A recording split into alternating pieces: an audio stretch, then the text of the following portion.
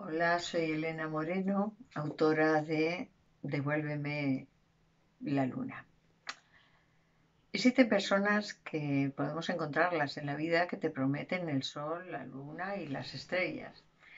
Yo titulé a, mi tercera novela Devuélveme la luna porque hay veces que uno necesita, mm, como mi protagonista, que necesita que su viejo amor no le hiciera tantas promesas como le hizo. Está escenificada entre el pueblo donde vivo, Algorta, y Salamanca, el campo, con los animales, los toros en libertad y la controversia que eso significa en este país.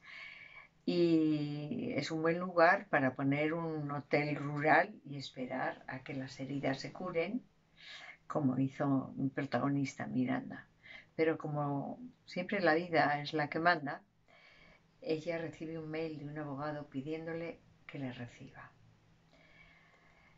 He resucitado en esta novela el género epistolar, las cartas, en este caso los mails, los mails y las confidencias que solemos hacer en ellas. Os prometo misterio, emociones y caminar cerca de una mujer que podíamos ser cualquiera de nosotras. Espero que disfrutéis.